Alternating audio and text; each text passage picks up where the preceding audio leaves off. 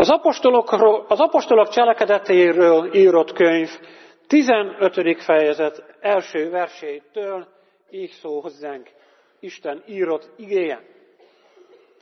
Némelyek, akik Júdeából jöttek le, így tanították a testvéreket, ha nem metélkedtek körül a mózesi szokás szerint, nem üdvözülhettek. Mivel pedig Pálnak és Barnabásnak nem kis visszája és vitája támadt velük, úgy rendelkeztek, hogy ebben a vitás ügyben Pál, Barnabás és néhányan mások is menjenek fel az apostolokhoz és a vénekhez Jeruzsálembe, és miután a gyülekezet útnak indította őket, áthaladtak Fönicián és Samárián, elbeszélték a pogányok megtérését, és nagy örömet szereztek minden testvérnek. Amikor megérkeztek Jeruzsálembe, örömmel fogadta őket a gyülekezet, az apostolok és a vének, ők pedig elbeszélték, milyen nagy dolgokat tett velük Isten. Előálltak azonban ott is néhányan, akik a farizeusok pártjából lettek hívőkké, és azt mondták, hogy körül kell metélni azokat, és meg kell parancsolni nekik, hogy tartsák meg Mózes törvényét. Aztán beszélnek, hoznak egy döntést, és a 22. versben ezt olvassuk. Akkor az apostolok és a vének az egész gyülekezettel együtt jónak látták, hogy férfiakat válaszanak ki maguk, maguk közül, és elküldjék őket Pállal és Barnabással Antióchiába, mégpedig Júdást, akit Barsabbásnak hívtak, és Szilászt, akik vezető emberek voltak a testvérek között. Majd a 36. verstől, a, bocsánatot kérek, a 30. verstől, ők tehát, miután útnak indították őket, lementek Antióchiába, összehívták az egész gyülekezetet, és átadták az apostolok által írt levelet. Amikor felolvasták, megörültek a bátorításnak. Júdás és Szilász, akik maguk is proféták voltak, sok beszéddel buzdították és erősítették a testvéreket. Azután ott időztek még egy darabig, majd békességgel elbocsátották őket a testvérek azokhoz, akik küldték őket, de Szilász jónak látta, hogy ott maradjon. Pál és Barnabás pedig Antióchiába maradt, többekkel együtt tanítva és hirdetve az Úr igéjét. Néhány nap múlva pedig ezt mondta Pál Barnabásnak. Térjünk vissza, látogassuk meg a testvéreket valamennyi városban, ahol hirdettük az Úr igéjét, és lássuk, hogy megy a soruk. Barnabás azt akarta, hogy vigyék magukkal Jánost is, akit Márknak hívtak. Pál azonban úgy tartotta helyesnek, hogy ne vigyék magukkal azt, aki elvált tőlük Pamfiliánál, és nem ment velük együtt a munkába. Emiatt meghasonlás támad közöttük, és ezért különváltak egymástól. Barnabás magával vitte Márkot, és elhajózott Ciprusra. Pál pedig Szilászt választotta társul, és miután az Úr kegyelmébe ajánlották őt a testvérek, útnak indult, bejárta Szíriát és Kilikiát, és erősítette a gyülekezeteket. Eddig az Isten írott igéje. Kedves testvéreim, igazából már eleve eléggé ünnepélyes ünnepélyes időszak, amiben vagyunk, mert ma van a húsvétnak a 15. napja. Ugye minden ünnep olyan nagy, hogy lehetne egy héten át is ünnepelni, de a húsvét akkora nagy ünnep, hogy azt igazából hét héten keresztül ünnepelhetjük, és utána még lezárhatjuk az 50. napon egy záró ünneppel. Igazából a Biblia szerint így kellene gondolkodnunk, mert már az Ószövetségben Isten azt parancsolta, hogy számolni kellene a napokat. A húsvéttól a pünkösdig. tudjuk talán, hogy a pünkös szava azt jelenti, hogy 50 vagy 50. Hát a húsvét vasárnap az első nap. A húsvét hétfő a második nap, és ma van a 15. nap, tehát még az ünnepnek az elején vagyunk. És amikor most azt mondjuk, hogy 50. és megint vasárnap lesz, akkor lesz pünköst. A húsvétnak a záró ünnepe, amikor az Úr Jézus elküldi a vigasztalót, a pártfogót, a szent lelket, és azért küldte el, hogy amit ő megszerzett húsvéton, az örök életet és a bűnbocsánatot, az működhessen bennünk is. Mert nekünk kevés hasznunk van abból, hogy az Úr Jézus megszerezte a bűnbocsánatot és az örök életet, ha a mi életünkben nem valósul meg. Nekünk csak akkor jó a húsvét, hogyha mi is részesülünk abban, amit az Úr Jézus megszerzett. És mi úgy részesülünk az Úr Jézus kincseiben, ha az Úr Jézuséi vagyunk.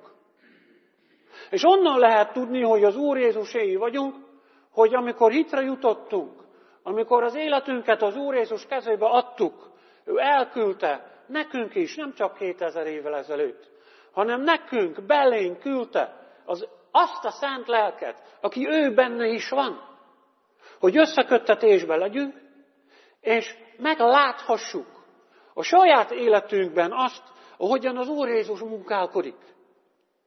Amikor ő segít abban, hogy megérthessük az Isten drága igéjét. Amikor észrevesszük, hogy kezd tetszeni az, amit Isten mond, és kevésbé kezd tetszeni az, amit szoktunk gondolni.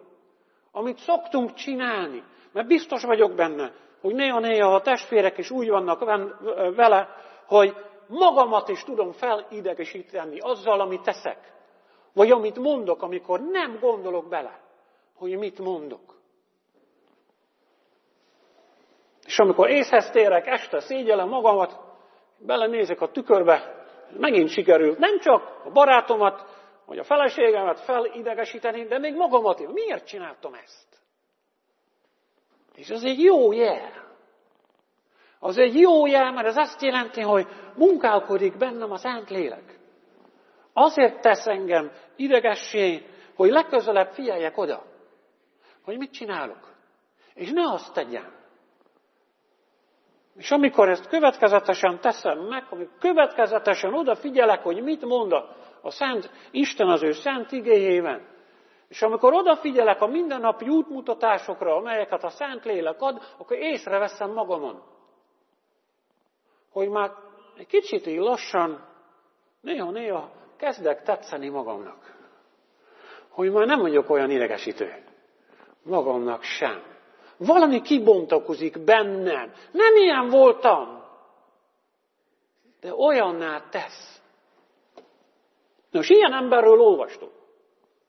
Egy olyan emberről olvastunk, akinek az életében az annyira nyilvánvalóvá vált, hogy egy külön nevet is adtak neki. Ebben a szakaszban, amit felolvastam, végig az a neve, hogy Barnabás. De az anyukája nem így hívta. Az anyukája úgy hívta, hogy József. Ciproson, Ciproson született egy szigeten, egy zsidó családba, ők néha-néha szolgáltak a templomban, és biztos, hogy egy ilyen alkalommal ez a József vagy magával az Úr Jézussal találkozott, vagy később az Úr Jézus tanítványával, azt nem tudjuk, de azt tudjuk, hogy hívő emberé lett. Krisztus követőjévé vált ő is, és úgy döntött, hogy nem költözök vissza Ciprusra, hanem ott maradt a testvéri közösségben.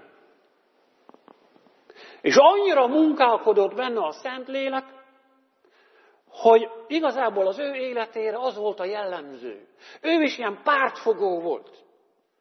Ugye így mondja az új fordításunk. A Károli régen azt mondta, hogy a Szentlélek másik neve az a, a vigasztaló. Hát az is jó. De az a szó, ami ott van, az azt jelenti, hogy valaki, akitől segítséget lehet kérni, mert meg is adja. Az a szent lélek, a vigasztaló, egy nagyon különleges szó, vagy pártfogó, de Már karácsonykor elhangzik ez a szó, vigasztalás. Nem tudom, hogy most karácsonykor elhangzott-e, de a Lukács evangéliumában benne van, hogy amikor beviszik a, az Úr Jézust a templomba, akkor még ugye kis csecsemő, a szülei beviszik, ott van Simeon, az öreg Simeon. És mit vár Simeon? Izrael vigasztalását. Úgy van leírva. Mert Isten népe bajba volt. Nem csak azért, mert egy más népnek a hatalma alatt éltek, hanem azért is, mert nem történtek meg azok a jó dolgok, amelyek Isten népével szoktak megtörténni. Amelyekről olvastak minden héten a zsinagógában. És az öreg Simeon várta Isten népének a vigasztalását, hogy Isten jöjjön el, és segítsen fel bennünket, és újra örömteli életünk lehessen. És akkor utána már nem számít, hogy egy idegen hatalom alatt élünk. Nem számít, hogy hoznak furcsa törvényeket, amikkel nem értünk egyet. Mert ha velünk van az Isten, akkor kibírjuk azt is. Az öreg Simeon azt várta, és amikor karjába vette az Úr Jézust, akkor hálát adott az Istennek, hogy na ő lesz az. És tényleg, húsvétkor az Úr Jézus megmutatta, hogy ő az igazi pártfogó. Ő elhozta azt, amit Simeon csak várt, és ahogy mondtam, a pünkös napján a Szent Lélek kezdte ezt munkálni. A keresztény gyülekezetben. És, és olyannyira egyek voltak az első keresztények, hogy az volt a normális, hogy gondoskodnak egymásról. De mégis, még egy ilyen szép gyülekezetben is, még abban a gyülekezetben is volt egy ember, aki ezt még jobban csinálta aki annyira különleges ember volt, hogy úgy hívta, hogy Barnavás. A vigasztalás fia, úgy van nekünk leírva. Vagy úgy is lehet érteni, hogy az igazi pártfogó. Ha valaki bajba van, hívja meg Barnabást. Mert biztos, hogy el fog jönni, meg fog engem hallgatni, és ha tud, akkor segít, vagy az is lehet, hogy tud valakit, ismer valakit, aki tud nekem segíteni, akkor ő lesz a közvetítő. Ez az a barnovás. És tegnap a presbiterekkel már beszéltünk Barnabásról, hogy Barnabás hogy szinte láthatatlan a Bibliában. Hogy itt-ott egy-egy mondatot olvasunk róla, de tehát nem olyan, mint Pál, akiről állandóan olvasunk, aki sok mindent csinál, de hát Barnabás volt az, aki elhitte elsőként, hogy Pál valóban megtért. Senki sem hitte el. Amikor Pál, ugye akkor még Saulnak hívták, először ment Jeruzsálembe, hogy gyerekek, én is megtértem, hol a gyülekezet? Hát úgy ismerték, hogy ő az üldöző. Senki sem hitte el. Csak az a Barnabás, megint az a különleges ember, az igazi pártfogó beteljesítette azt, ami a nevének a jelentése. Hát hát, ha igaz, hát, ha igaz, megyek oda, leülök, meghallgatom. És Pál úgy tudta elmondani a megterését, hogy Barnabás el is hitte. És Barnabás vitte Pált a többi apostolhoz. Azt mondja, kezeséget vállalok, hogy ez az ember tényleg, tényleg megtért. És amikor később egy gyülekezetbe kiderült, hogy egy olyan okos emberre lenne szükség, mint amilyen Pálapostól volt, akkor Barnavás volt az az ember, aki felmérte a helyzetet a gyülekezetben, látta, hogy na, itt valamit kell csinálni, ahhoz én kevés vagyok, de ismerek valakit. Ismerek valakit, aki tud segíteni.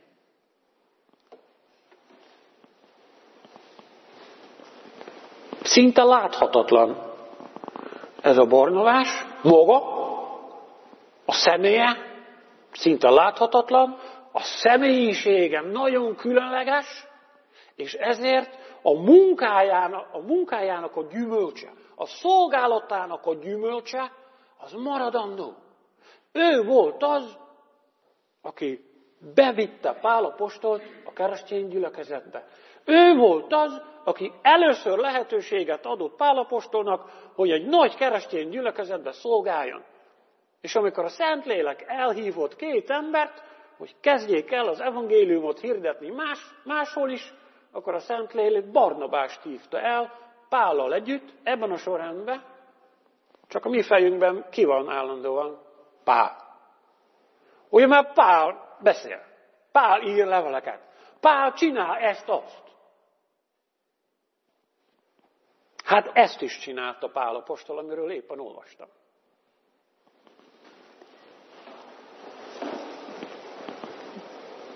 Hogy miután Pál és Barnabás Jeruzsálemben voltak, és elmondták a nagy hírt, hogy nem csak a zsidók térnek meg az Úr Jézushoz, hanem a nem zsidók is.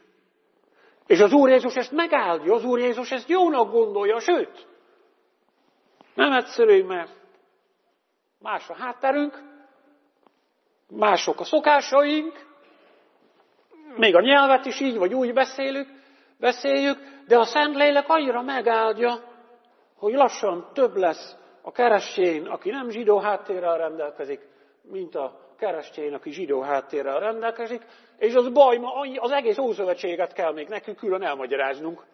Olyan szegény apostolok, hogy olyan emberekkel találkoznak, akik semmit sem tudnak az Ószövetségről. Hát hogy fogják megérteni, hogy miért jött el az Úr Jézus? Kaptak egy plusz feladatot. Ezért, szerintem ezért is mondja Pál apostol Barnabásnak, amikor Jeruzsálemben is azt mondták, hogy jó, elfogadjuk, ha Isten úgy akarja, akkor mindenki lehessen keresztény.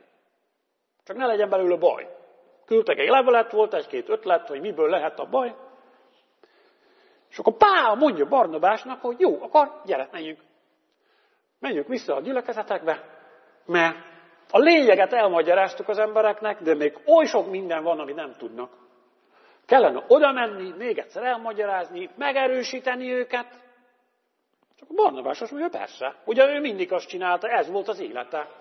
Segíteni az embereken. Csak ott volt az ő unaköccse, a János Márk. Barnabásnak az unaköccse. Mert úgy kell elképzelni, hogy Barnabás a legidősebb. Lehet, hogy már szakállas, lehet, hogy már fehér és az a szakál. Ő a legidősebb a társaságban. Középkorú Pál, vagy még tele lelülettel, menjünk, csináljuk. És ott van a fiatal, a János már, aki volt velük egy darabig. Amikor Cipruson szolgáltak, ahonnan ugye ez a János Márk is származott, akkor ő is beállt a munkába, de amikor idegen földekre mentek, idegen országokba, idegen városokba, akkor János Márk azt mondta, hogy bocsika, de én megyek Jeruzsálembe. Hogy miért, nem tudjuk, lehet, hogy jobban tetszett neki a Jeruzsálemi gyülekezet, az is lehet, hogy még szolgálni ment, a templomba, mert ő is lévita volt, és volt neki joga, lehet, hogy ő arra gondolt, hogy az ottani emberekkel tudok jó kapcsolatot építeni, és nekik tudom elmagyarázni az evangéliumot. Ki tudja, nem tudjuk. Csak annyit tudunk, hogy ő nem, nem tartott Barnabással és Pállal. És Pál ugye a heves, itt azt mondja, hogy jó, akkor megyünk vissza a gyülekezetekhez, erősítsük meg a testvéreket, de hát ő Első alkalommal se jött velünk. Akkor őt hagyjuk most ki.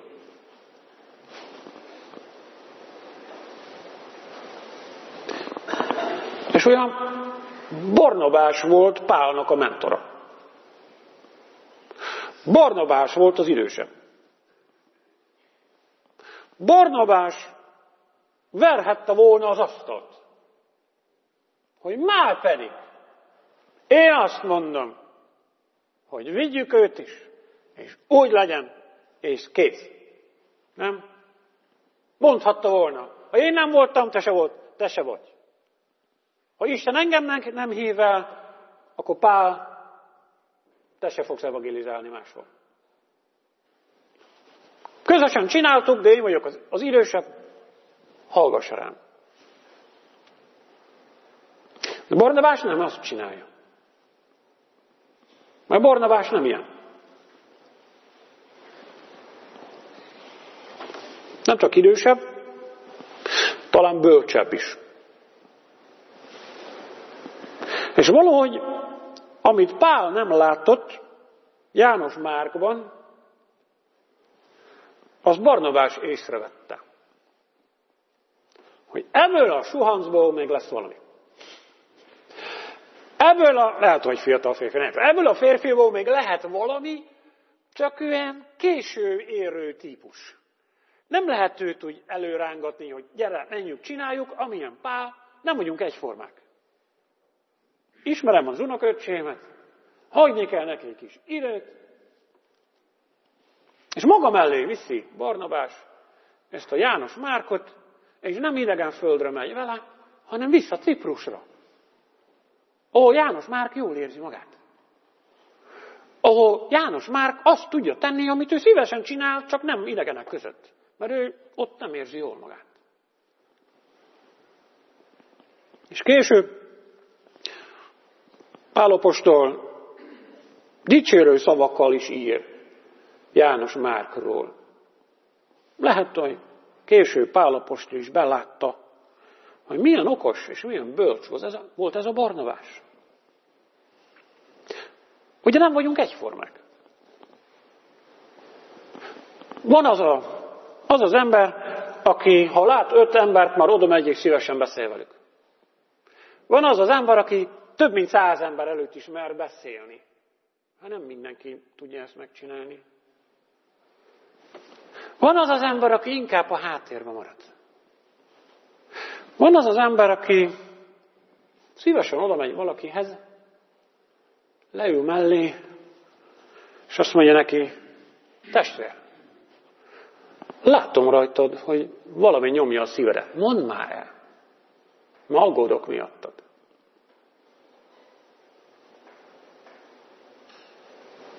Van az az ember, aki a fiatalban meglátja a jövőt. Van az az ember, aki tudja, hogyha azt akarjuk, hogy legyen folytatása a gyülekezetnek, akkor fel kell karolni egy ifjút. Fel kell karolni egy fiatalt. Magam mellé kéne venni, még azt is, aki most félénk, aki most úgy bugdácsol az életben, hogyan én korábban mondjuk. Ilyen emberekre is szükség van. És többek között ezért beszéltem tegnap a presbiterekkel Barnabásról. Mert ha azt akarjuk, hogy működőképes legyen a gyülekezet, és működőképes legyen a presbitérium, akkor többféle és többfajta személyiségre van szükség. Szükségünk van arra az emberek, ezt mondja, hogy fiúk, csináljuk. Általában abban lesz a gondok. Nem mindig, de általában. Hogy tudja, elmondja, mindenki elismeri, hogy jó ötlet, beállnak a sorba, csinálják. Szükség van arra a presbiterre is, aki, aki, aki látja, hogyha valaki bajba van, és talán nem is merem elmondani. Mert szégyellem magamat, hogy bajba vagyok. Szégyellem magamat, hogy nem érzem magamat jól. Most az egyik ismerősöm azt mondta a múlt héten, vasárnap Isten tisztelet után egy másik gyülekezetben, hogy néhány héttel korábban egyszer történt meg vele, életében először történt meg vele, hogy már úton volt az Isten tisztelet felé, és valahogy útközben úgy érezte, hogy nem fogom bírni. Nem fogom bírni, hogy ott vagyok az emberek között, mert valami van. Jó, baj van a szívével, nem is olyan különleges ez, mert több baja is van. Néha-néha ugye rátör az emberre egy ilyen depressziós gondolat, hogy, hogy most Ma attól is fogom magamat rosszul érezni, hogyha csak le kell ülnöm, és, és sok ember között vagyok. Sőt, megfordult a sarkán, és visszament haza. És beszéltünk róla, hogy milyen jó lett volna. Milyen jó lett volna, ha ő elindul hazafele, és szembe jött volna egy presbiter, aki meglátja és megkérdezi, hogy mi a helyzet. Nem történt meg. Nem a presbiternek a problémája, hogy ez nem történt meg. A presbiter nem tehet róla, csak a helyzetet próbálom elmagyarázni. Szükség van olyan emberekre is, akik valamit látnak, és nem elítélik a másikat, hanem rögtön kapcsolnak, hogy lehet, hogy valami baj van. Mert az a bácsi minden héten ott szokott lenni. Ha most a másik irányba megy, nem a templom iránt, hanem a másik irányba, akkor kérdezzem már meg. És ha most nincs abban az állapotban, akkor megyek délután, vagy holnap megint nem elítélni, hanem megkérdezni. Mi történt? És szükség van azokra a presbiterekre is, és remélem, hogy lesznek olyanok is a presbiterek között. Szükség van arra a presbiterre, aki látja a fiatalokat, és nem a problémákat látja bennük. Nem azt látja bennük, hogy hát ők szoktak néha olyan így, meg úgy reagálni. Ki nem azt nézi, hogy most mihez van kedvük, hanem aki egyszerűen oda megy egy fiatal sráchoz, és azt mondja, gyere, lesz egy kis munkám, de nem akarom egyedül csinálni. Gyere velem, csináljuk együtt.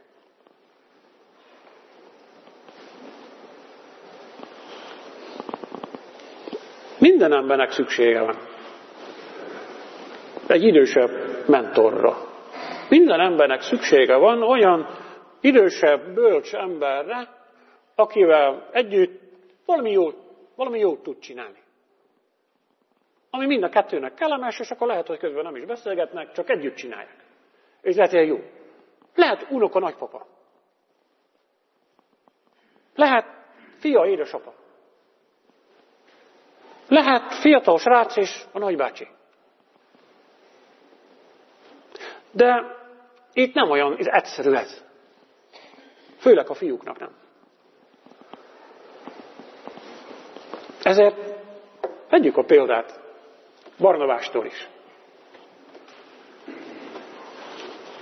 Talán valahol a kollégiumban, vagy a településen ott van az a fiú, akinek arra van szüksége, egy bölcs presbiter ezt mondja, hogy figyelj, ismerlek, hogy vagy? Mit csinálsz délután? Semmit. Mert ugye, mit csinálnak a fiúk délután? Semmit. A lányom is olyan. Soha nem csinál semmit. Az iskolában nem csinálnak semmit. Soha. Ha megkérdezem, mi volt az iskolában? Semmi. Ja. Mi a terv délután? Semmi. Ja, most fölhívtam. És hogy már néhány napja nem láttuk egymást, és feleségem megkérdezi tőle, akarsz még valamit mondani anyjunak? Na, semmi. Hát, jól van. De tudom, hogy belülről nem az van. Ez most ez a korszak. Milyen jó, hogyha egy idősebb és egy fiatal ember egymásra talál, és az idősebb azt mondja, hogy mit csinálsz dél? Semmit, jó, húzjuk. Mert én se. Csak nem akarom egyedül csinálni. Mert van egy kis kaszálás. Van egy kis munka. De egyedül unalmas. Vagy leszünk hárman, de a munka az még annál is több. Nem, nem jössz velünk?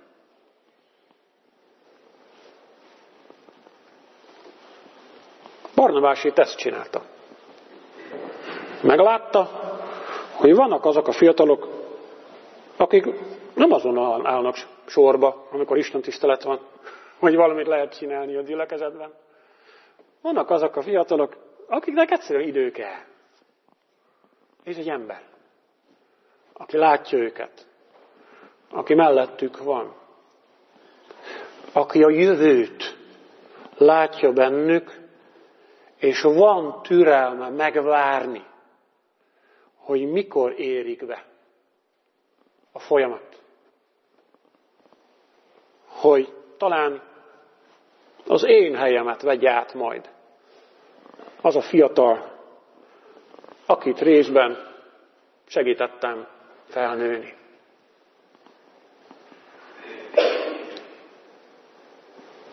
Én a nagybereki gyülekezetnek ilyen presbitériumot kívánom, amiben többfajta ember van. Lehet heves is, lehet bátorító, felkaroló, vigasztaló, Kell egy-két ember, aki mindig szem előtt van. Kell néhány ember, akit soha nem láttunk, de csinálja a dolgát. Csinálja a dolgát a háttérben, mert annak is meg lesz a gyümölcse. Ők ezt nem tudják maguktól elérni. A szerepüket akkor fogják tudni jól betölteni, ha mi mögöttünk állunk, és következetesen imádkozunk értük is.